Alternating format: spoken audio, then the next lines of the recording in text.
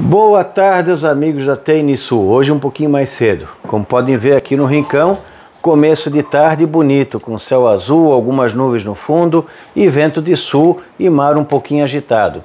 Ondulação de meio metro ou metro de altura e praticamente como deve ser, praia mais vazia. E céu azul quase limpo na região. Então realmente um dia bonito. Tem até um pouquinho de gente andando na praia, a maré está até um pouquinho mais alta.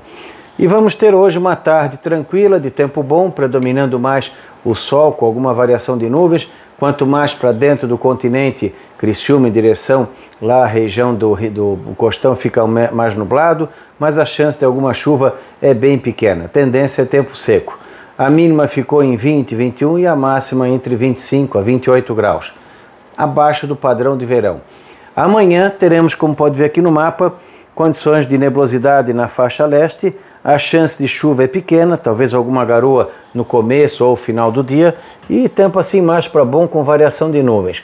Hora mais nublado, hora mais aberto com sol e condições bem favoráveis a tempo bom. A chance de chuva pequena e isolada se tiver mais perto da serra. As mínimas ficam baixas, ó, na faixa de 13, 16 graus aqui no sul do estado, aqui na serra na faixa de 5 a 8 aqui no Rio Grande do Sul também, também faz frio aqui no oeste, meio oeste, enfim, temperaturas abaixo do normal para mês de dezembro, para verão.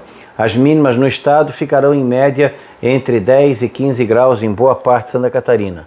E as máximas não passam muito de 24, 27 graus aqui no sul e dos 30, 33, 34 aqui no extremo oeste, região de Tapiranga. Mais quente do meio oeste para cá e mais fresquinho do meio do estado para o litoral.